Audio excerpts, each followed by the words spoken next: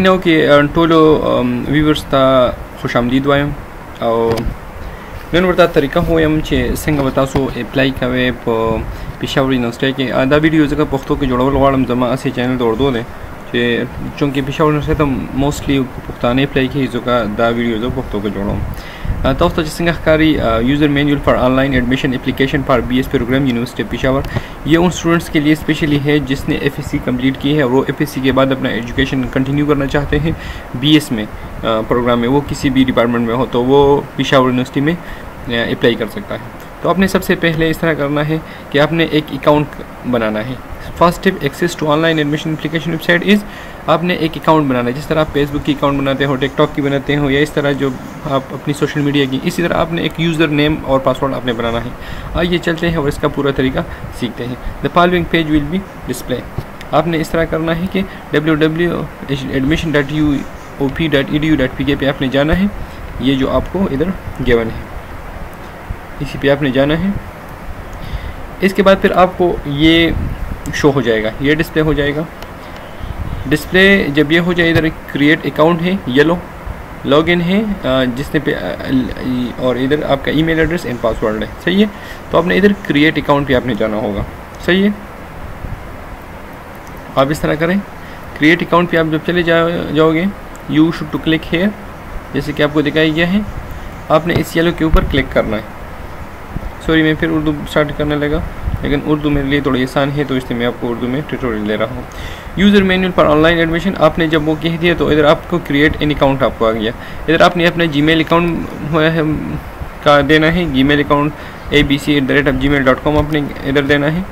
और इधर आपने इंटरव्यू योर डिज़ायर पासवर्ड आपने इधर अपना पासवर्ड देना है। सही है?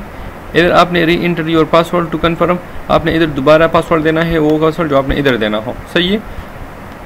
ये वर्डिंग आपने देनी है, लेकिन आपने इधर ख्याल रखना है क्या? इधर जो चीज़ कैपिटल में है, वो अपने कैपिटल में देना है, जो चीज़ स्मॉल में है, ये भी इधर लिखा गया है। सी आई एफ़ कैपिटल में सिक्स फिर ज़ीरो है, फिर वाई है। तो ये आपने, अगर आपसे गलत हो जाए तो फिर आप इसको रिफ्रेश भी कर सकते हो। Type the text as it is create account आपका एक अकाउंट बन गया बसानी अभी आप इस तरह करें। कि लॉगिन में चले जाएँ। सही है?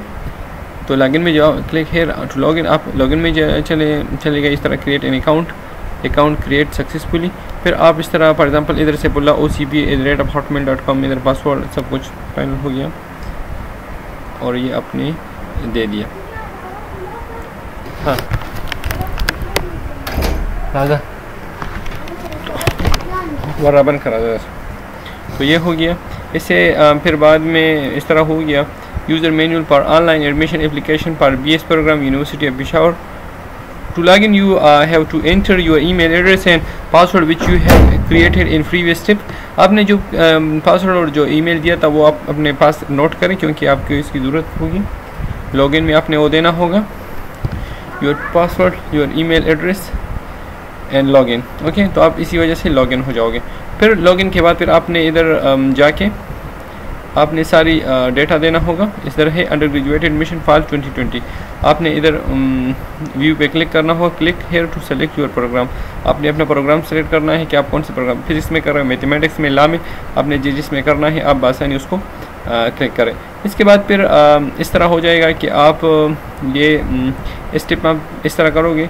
कि आपने ओपन किया click here to open your application form आप इधर एप्लीकेशन फॉर्म ओपन करोगे तो इसके बाद फिर एप्लीकेशन फॉर्म आपका खुल जाएगा। और स्टेप थ्री में आपने एकेडमिक रिकॉर्ड देना है। एकेडमिक रिकॉर्ड मतलब कि आप इधर कुछ टेबल बना होगा। आपने उस टेबल में अपना डिग्री टाइप करनी है अपने एफ़ एस सी की है अपने ए लेवल किया है ओ लेवल किया है वो सारे आपने देना देना है। इसके बाद फिर आपने एट द एंड सारा फिल करके आपने इधर सेव दिस सेक्शन आपने करना है वो सेक्शन ऑटोमेटिकली सेव हो जाता है। सही है?